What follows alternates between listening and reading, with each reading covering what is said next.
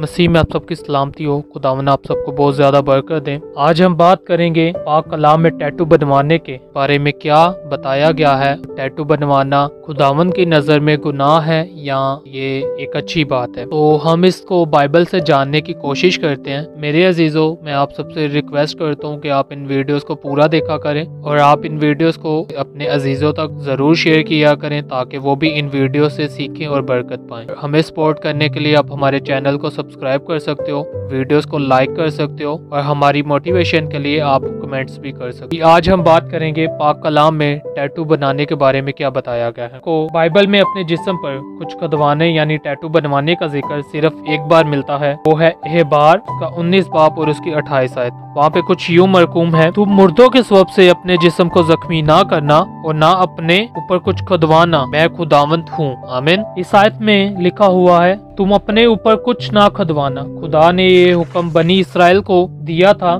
क्योंकि उनके जो आसपास कौमें थी, खुदा उन कौमों से उनको अलग करना चाहता था, क्योंकि दूसरी कौमें अपने जिस्मों पर अपने देवताओं के नाम या उनकी अलामतें खुदवाती थी, यानी टैटू बनवाती थी। तिश्ना उसका चौदह बाप उसकी दो आयत में लिखा हुआ है कि खुदा ने बनी इसराइल कौम को कैसे उनसे अलग किया। ये सच्ची और हकीकी बात है कि आज मसीहों पर शरीयत की कोई पाबंदी नहीं है। यहाँ शरीयत के हुक्म नहीं है, क्योंकि हम यसूअल मसीह के वसीला से उन सारे हुक्मों से, उन सारी कुर्बानियों से नजात पाते हैं। लेकिन हमें इस हुक्म में पाए जाने वाले असूल पर संजीदगी से अमल करना चाहिए, क्योंकि ये एक ऐसा अमल है जिससे हम अपनी हयादारी को या अपने जिसम को भी पाक रखते हैं और खुदावन के हजूर एक मकबूल कुर्बानी के तौर पे पेश करते हैं। तो इसलिए हमें अपने जिसम पे टैटू नहीं खुदवाने चाहिए। मैं उन बहन भाइयों के लिए कुछ बाइबल में से ऐसी आयात पढ़ के सुनाना चाहूँगा या उनको बयान करना चाहूँगा ताकि मेरे उन बहन भाइयों को सीखने को कुछ मिले जो अपने जिस्मों पे टैटू बनवाते हैं। सबसे पहली जो आयत है वो है पहला तमोतियस, उसका दो बाप, उसकी नौ आयत। इसी तरह औरतें हयादार लिबास से शर्म और परहेजगारी के साथ अपने आप को सवारें, ना के बाल गूंदने और सोने और मोतियों और कीमती पोशाक से। इस आयत में बताया गया है कि औरतें अब हयादारी के लिबास से खुद को कवर करें, ना कि वो इतना चमकीले लिबास और इस तरह के लिबास पहने जो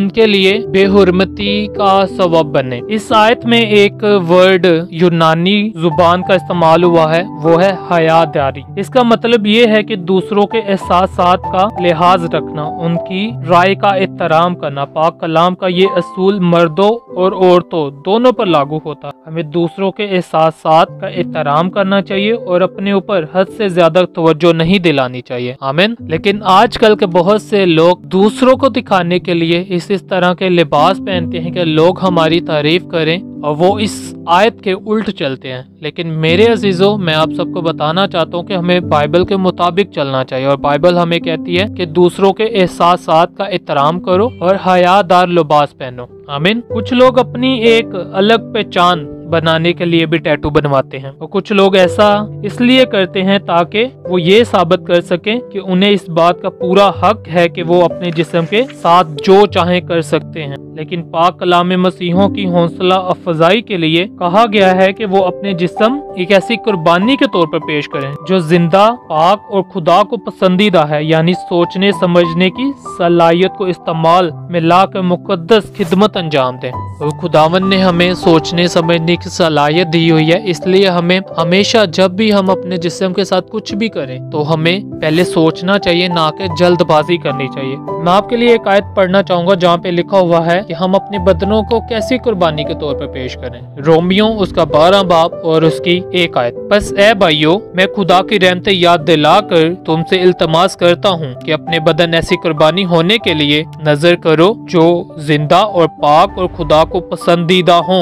यही तुम्हारे लिए मकूल इबादत है। और मैं उन भाइयों से कहना चाहता हूँ जो अपने जिस्म पे टैटू बनवाना चाहते हैं या जो बनवा चुके हुए हैं। हमें अपनी सोचने, समझने की सलाहियत को इस्तेमाल करना चाहिए और हमें सोचना चाहिए कि हम अपने जिस्म पर क्यों टैटू बनवाना चाहते हैं। क्या आप महज फ़ैशन अपनाने या किसी ग्रुप के रुकन के तौर पर अपनी पहचान कराने के लिए टैटू बनवाना चाहते हैं? अगर ऐसा है तो याद रखें कि टैटू के मुतालिक शायद आपकी सोच वक्त के साथ बदल जाए, लेकिन टैटू टैटू वहीं का वहीं रहेगा और मेरी बाज बहने और मेरे भाई। अक्सर ऐसा ही करते हैं कि वो जल्दबाजी में वो काम तो कर लेते हैं, लेकिन वो बाद में उनके लिए पछतावा होता है। मैं उन बहन भाइयों से कहना चाहता हूँ जो जल्दबाजी में टैटू बनवाने का शौक रखते हैं या टैटू बनवाते हैं। वो अपनी सोच को, अपनी समझ को इस्तेमाल करें और वो कलाम को देखे कि कलाम हमें क्या कहता है, हमें टैटू बनवाने चाहिए या नहीं बनवाने चाहिए। इमसाल उसका 21 बाब और उसकी पाँच आयत में लिखा हुआ है कि जल्दबाजी करने वालों का क्या अंजाम होता है? मैं आपकी रहनमाई के लिए वो आयत पढ़ना चाहूँगा। इमसाल उसका इक्कीस बाप, उसकी पाँच आयत। मेहनती की तबीरें यकीन फरावानी का बायस है, लेकिन हर एक जल्दबाज का अंजाम मोताजी है। आमीन। और लोग अक्सर टैटू बनवाने का फैसला जल्दबाजी में करते हैं, लेकिन इसका असर उनके रिश्तों और मुलाजमत पर ज़िंदगी भर हो सकता है। ये काम यही नहीं रुकता टैटू को हटवाना बहुत महँगा और दर्दनाक हो सकता है। और मैंने बास्तर